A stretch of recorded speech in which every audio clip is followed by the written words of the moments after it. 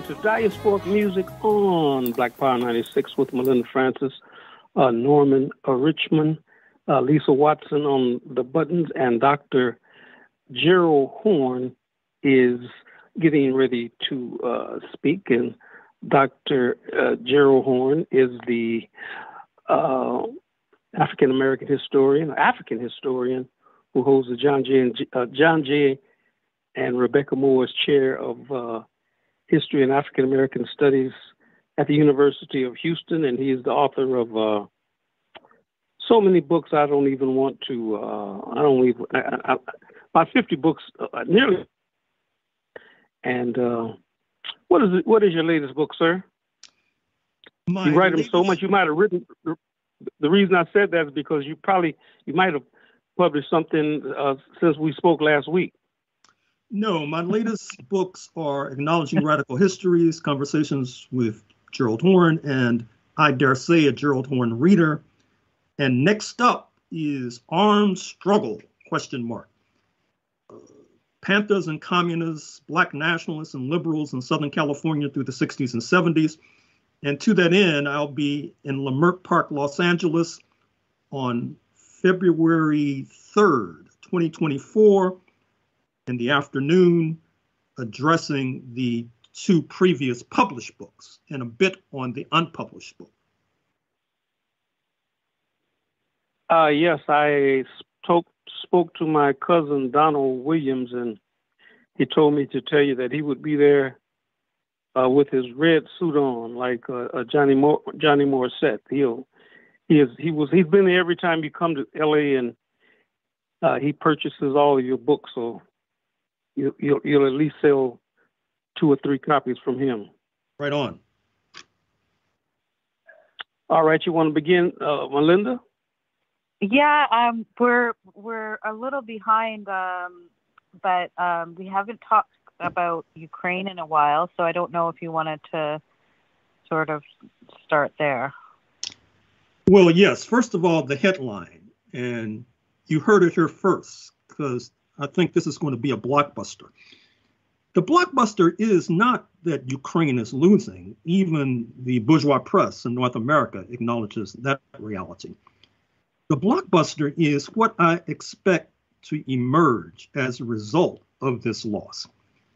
First of all, with the Orange Man, Donald Trump, slated possibly to return to the White House in January 2025, and with his stated goal of draining the swamp at NATO headquarters in Brussels, possibly pulling the United States out of NATO, uh, that's going to lead to a number of other consequences. Now, of course, this pulling out of NATO once again, that's not the blockbuster because he has made that clear. The New York Times has been wringing its hands about that for weeks, if not months now.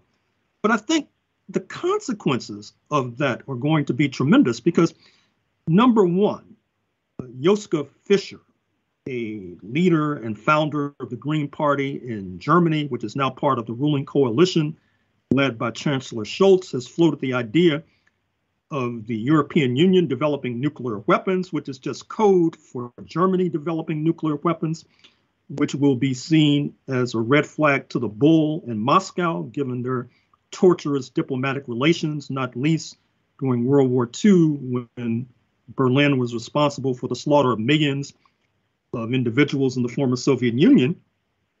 That's going to be of enormous consequence if Berlin moves in that direction, which is possible. But the real blockbuster after this uh, rather elongated uh, preface is that if NATO begins to disintegrate, you should expect France to cut a deal with Russia against the interests of the United States. And now this will be taking place at a moment when Mr. Trump himself will be trying to cut a deal with Russia so that the United States can focus like a laser beam on China.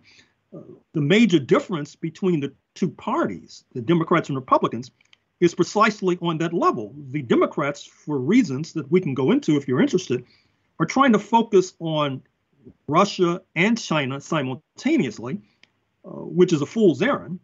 And I think it has a lot to do with the fact that, as we've stated previously, the Black American constituency, which is the bulwark of the Democratic Party, has been forced to steer away from foreign policy, which then gives more impetus to the hawks in the Democratic Party, which leads them to that kind of harebrained scheme.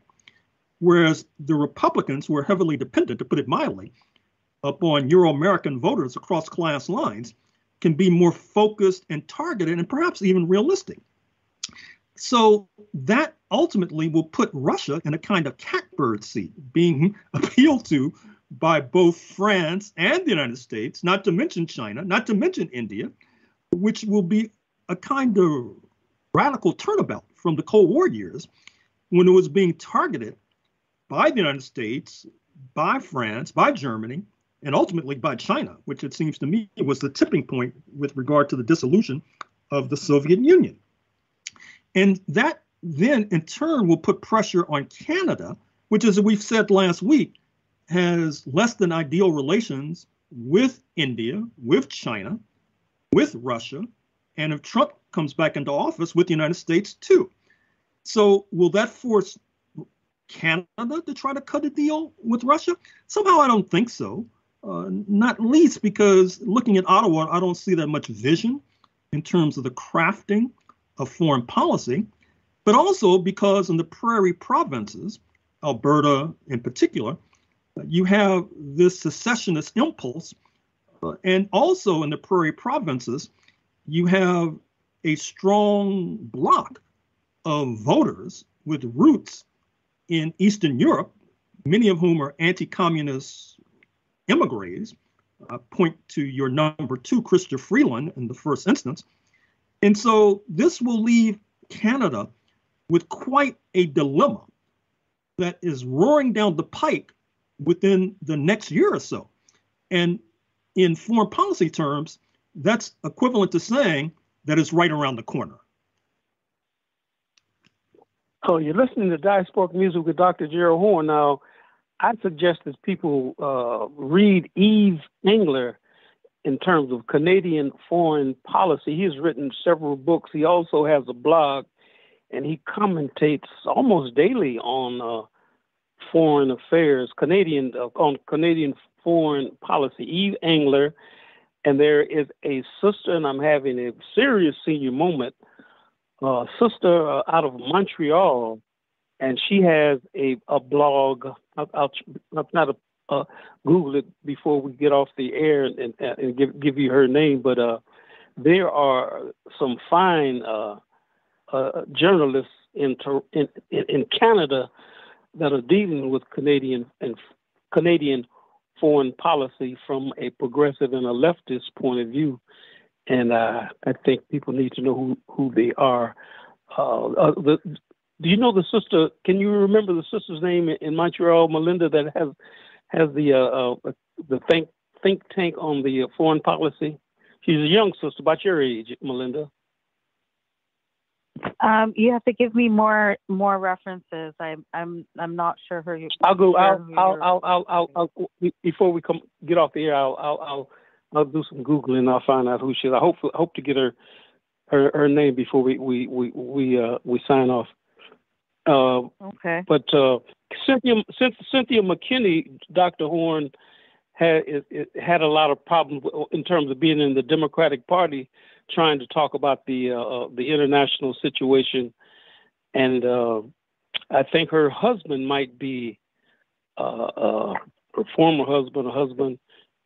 I know she has a, a, has a son that has a Jamaican father. She was married to a brother from, from Jamaica, and uh, I guess you've always pointed out that uh, you know, anytime that a, a black person from the United States deals with foreign policy, they uh, uh, you, you, might meet the fate of uh, Du Bois or Paul Robeson or uh, worse than that, Huey Newton or uh, Fred Hampton. Could you reflect on that? Well, you're raising a point that's highly relevant at this precise moment because, as you know, the United States just vetoed a resolution in the United Nations Security Council that would have called for a ceasefire in terms of this massacre this Israel Israelis are perpetrating in Gaza. And what's remarkable there is a number of points. Uh, it represents a failure on so many different levels. Uh, let's deal internally in the United States in the first instance. First of all, you have the Zionist lobby, which puts pressure upon Black elected officials in particular. They're going to spend millions to defeat a number of them in the November 2024 elections. Then you have Black intellectuals who hide under their desks because they don't want to be excoriated or worse by the Zionist lobby. I'm looking in particular at Harvard University, whose president is a woman of Haitian origin. Speaking of Claudine Gay, she had an appearance on Capitol Hill in the last few days, and she was trapped and snookered along with the now gone president of the University of Pennsylvania. What I mean by that is that a viral clip suggested that they would not be critical of the idea of genocide against Jewish Americans. Now, this was a truncated clip. The precursor to the question was a debate and discussion as to whether or not chanting from the river to the sea was genocidal, whether the very concept of intifada was genocidal. Obviously, those are problematic questions. And then that led into the next question about uh, genocide against Jewish people in general. Now, what's interesting about that, of course, is that it was demagogic in the first instance, pushed by Republicans. And by the way, in the state of Texas, the Republican Party has ruled that they will not steer clear of Holocaust deniers or neo Nazis. They're now part of the coalition. And yet, when we're talking about so called anti Semitism, the focus is on the presidents of these Ivy League universities, which then feeds in to the right wing populism of the Republican Party, where supposedly they're against the elites and in favor of the common folk. And in the 19th century, that meant that uh, they were, that is to say, their political predecessors were in favor of taking the land from the Native Americans and dispersing it to Euro Americans fresh off the boat. Now, I had expected Black intellectuals at Harvard, of which there are quite a few, to weigh in on this, but they are all hiding under their desks. And what's remarkable there is about 30 years ago, there was a controversy at the University of Pennsylvania where a young Israeli student shouted at Black women members of a sorority, Delta Sigma Theta, that they were, quote, water buffaloes, unquote. And they got upset, needless to say. It led to a debate about free speech. Of course, the same people who are denouncing the president of the University of Pennsylvania for supposedly not being tougher on anti Semitism were giving a lot of leeway and latitude to this Israeli student. Uh, speech codes were crafted that made it simpler and easier to engage in anti Blackness.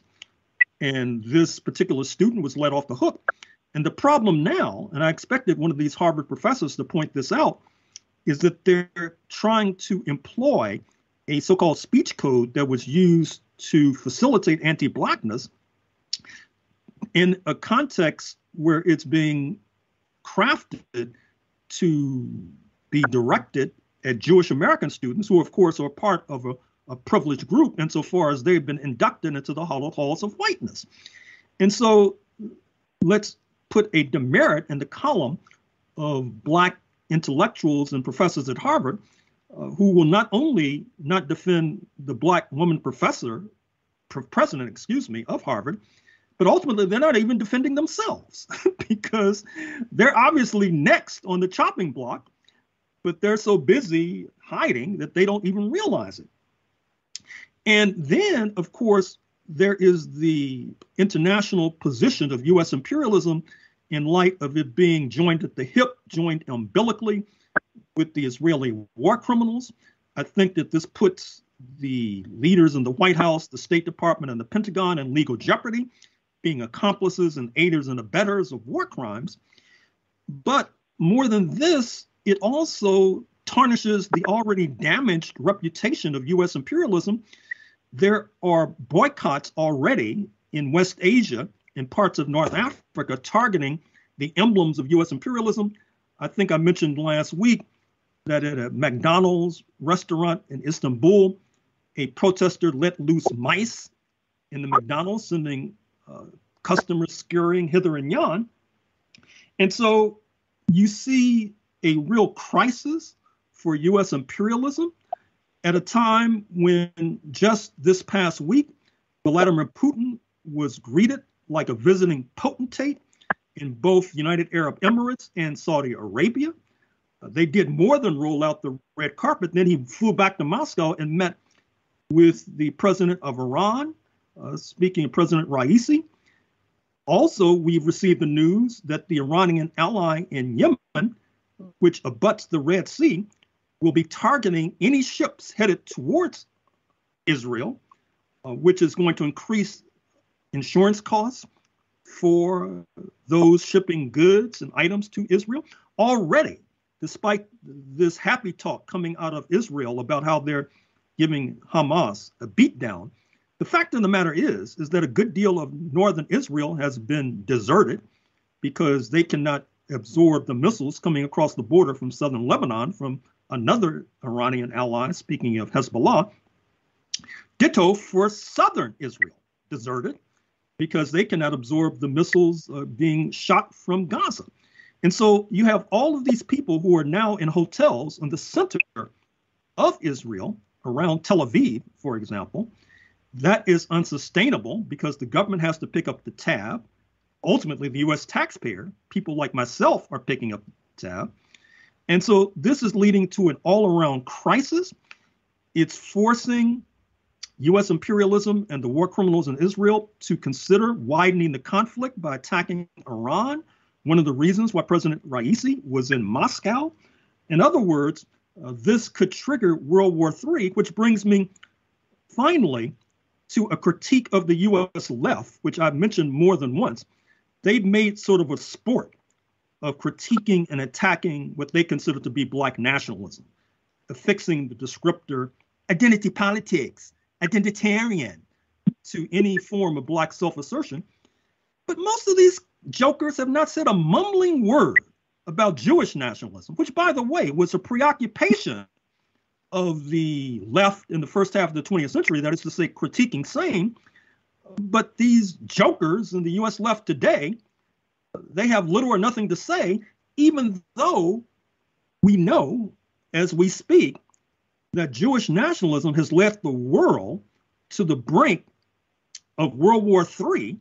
And whatever one can say about Black nationalism is basically they're just talking about a US thing. And certainly we can't say that Black nationalism is leading the world to the brink of World War III. So this has been a massive failure on so many different sides. On the part of US imperialism, on the part of Black intellectuals and Black professors, on the part of the US left, on the part of the Israelis, and of course, uh, I would also say the Israeli populace as a whole, which is massively turned to the right in light of October 7th, facilitating these war crimes against Gaza that continue as we speak, because it's apparent that the Israelis would either A, want to make Gaza not inhabitable, chasing the millions away, or starving, or otherwise making sure that they wind up in graves, or B, uh, engage in a various kinds of ethnic cleansing on the West Bank, where, by the way, despite its mealy mouth protestations about Israel protecting civilians, the United States continues to ship bunker busting bombs to the war criminals not to mention rifles used by the 800,000 strong settlers on the West Bank to engage in what we call retail ethnic cleansing, uh, chasing Palestinians out of their homes and, from the Israeli point of view, into the Sinai Desert in Egypt. I should also make another point, which is that another consequence of this massive fail with regard to historic Palestine is that it's going to shake the very foundations of these so called pro Israeli regimes, starting with Morocco in North Africa, which signed these ill fated Abraham Accords, knocked together by the 45th US president, uh, to Bahrain, uh, heading east, where you've had uh, the hosting of U.S. military officials. And if you read between the lines, uh, you can see that Qatar, which has been playing a very slick game, I must say, uh, on the one hand, hosting U.S. military on their soil, at the same time, uh, being a, a, kind of bagman for Hamas, uh, bringing suitcases full of US dollars to Hamas up until October 7th. And of course, that's winked at by the Israelis because they thought it was a keen idea. It was a neat idea to have uh, two contending forces the Palestinian Authority on the West Bank, Hamas in Gaza, and that you could play one off against the another. And also, Qatar sponsors Al Jazeera, which is really the go to station, I must say. It, it's almost like Palestinian CNN, quite frankly. Uh, I, I, recommend it. And they, they did a, a, they did a bad job on Ukraine, you might recall, but they sort of recovered with regard to this present crisis. And here's another prediction: there's going to be increasing pressure on Qatar, and I think they realize it. And so I expect them to embrace Iran more closely, embrace the Saudis more closely. Recall that they have had various snits and disputes with the Saudis over the years. The last one was during the Trump years when they were basically rescued by the Turks. So I expect them also to embrace the Turks more closely, which will present just another dilemma for the crisis of U.S. imperialism. Uh, let me say that uh, I have been uh, accused of identity politics, and uh, I keep on repeating this all the time. I remember that uh, when Angela Davis came to uh, Toronto in 1972, it was on the day that my father passed away, and the left, some of them who became my some of my closest friends, refused to let me in to hear uh, Angela Davis because I was supposed to be uh, uh, this reverse racist, this black nationalist, and you know, as if uh, you know the black nationalists had state power. So they sent me. Uh, I had to go listen to Bobby Blue Bland. I couldn't. I couldn't hear Angela Davis. I was in 1972. I never will forget that as as long as as, as I live. Well, a sign of the times and a sign of today's times too. I'm afraid. Uh, yes, sir. Now let me uh, say, let, uh, be, be, I want to say this, Melinda. Uh, uh, Lula uh, has wants to mediate Guyana and, and, and Venezuela. I hope that's not it, it, interfering with anything you want to see, Melinda. No, no, that's that's fine. I, that's what I was going to do. Go on to the next thing. Yeah. So great. Yes, it's it's a real crisis. Um, I, have spoken to this issue on WPFW, the program on the ground, which comes on Friday mornings uh, at WPFWFM.org. And my commentary is now posted, I believe, on Facebook, which elaborates on what I'm about to say, which is that Venezuela argues that with regard to the disputed region, disputed in their mind, Essequibo, which is now Guyanese territory, that when that was adjudged to be the case in the late 19th century, that Caracas was going up against the mighty British Empire and were disadvantaged.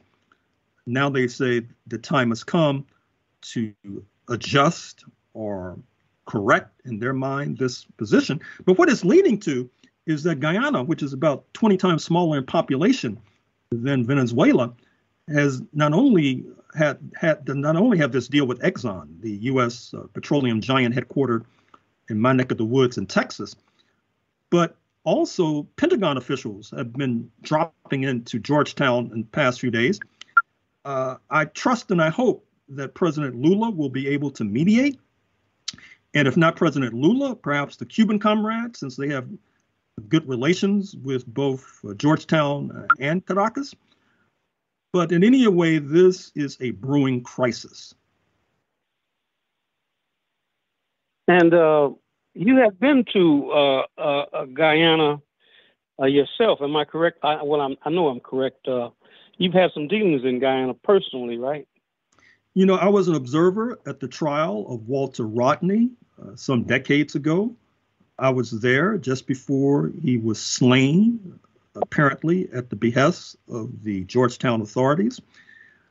It was, I was very impressed with Guyana. And, and as a matter of fact, going to Guyana had a, a catalytic impact upon my own consciousness. Just being around these premier intellectuals, not only Walter Rodney, but Cheddi Jagan, who I came to know, who was that time the leader of the opposition, later becoming, he was formerly leader, head of state, and then becomes head of state once again. And uh, it's, it's just their discipline uh, left a deep imprint upon me. What they were reading left a deep imprint upon me. And uh, I trust and I hope that cooler heads will prevail and that there will be no military conflict between Caracas and Georgetown. Uh, let me say the same thing about. Uh, let me do say ditto to that about Guyana because when I came uh, to uh, Toronto, I was embraced by uh, the Guyanese. Were the uh, well, I guess it was Antiguans and the no, the Guyanese were the first people that in, that that embraced me.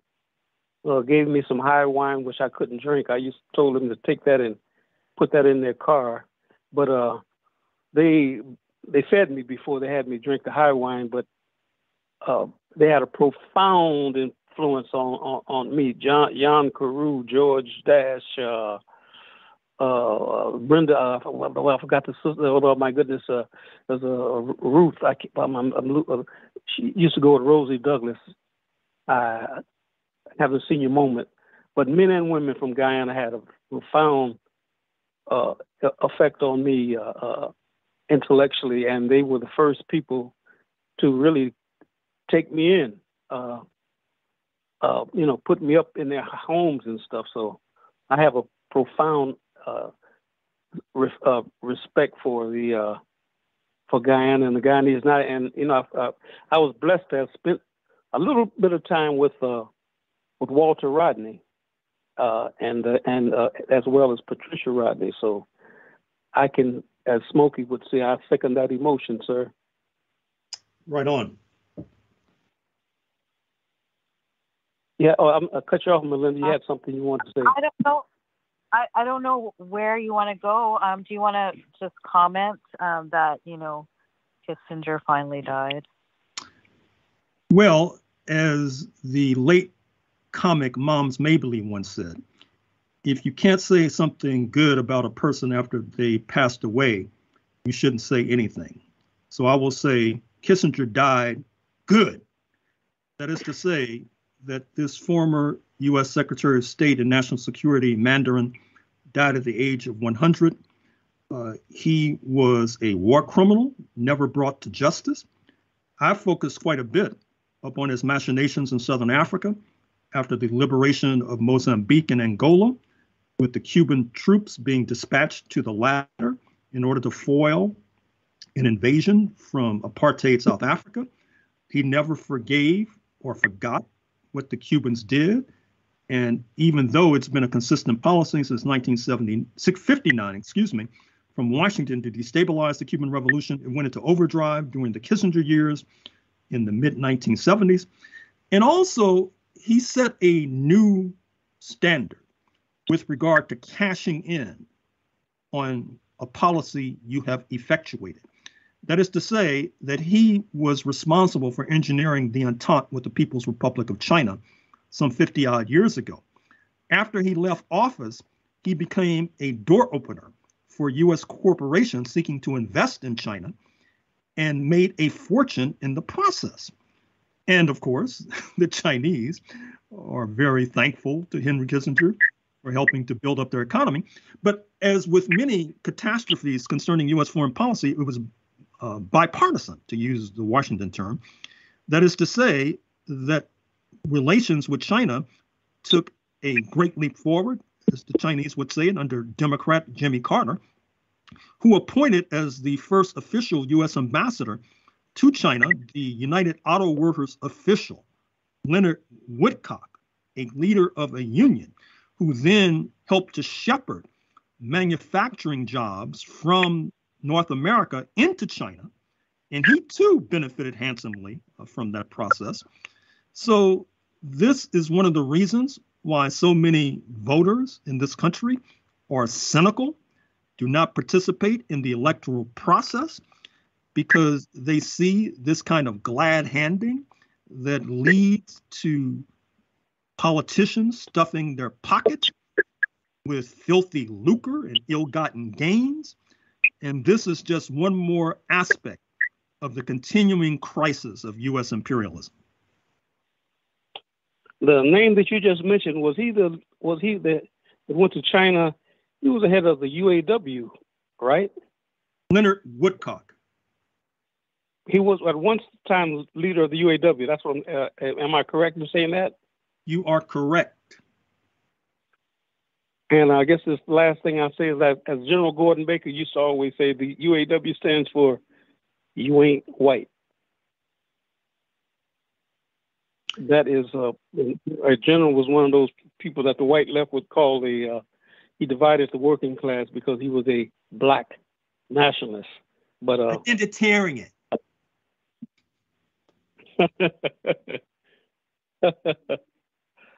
oh, okay, yeah. But uh, yeah, General Gordon Baker was a had gone to Cuba. Uh, uh, I guess when he when he joined the ancestors, uh, they couldn't say that about him. Uh,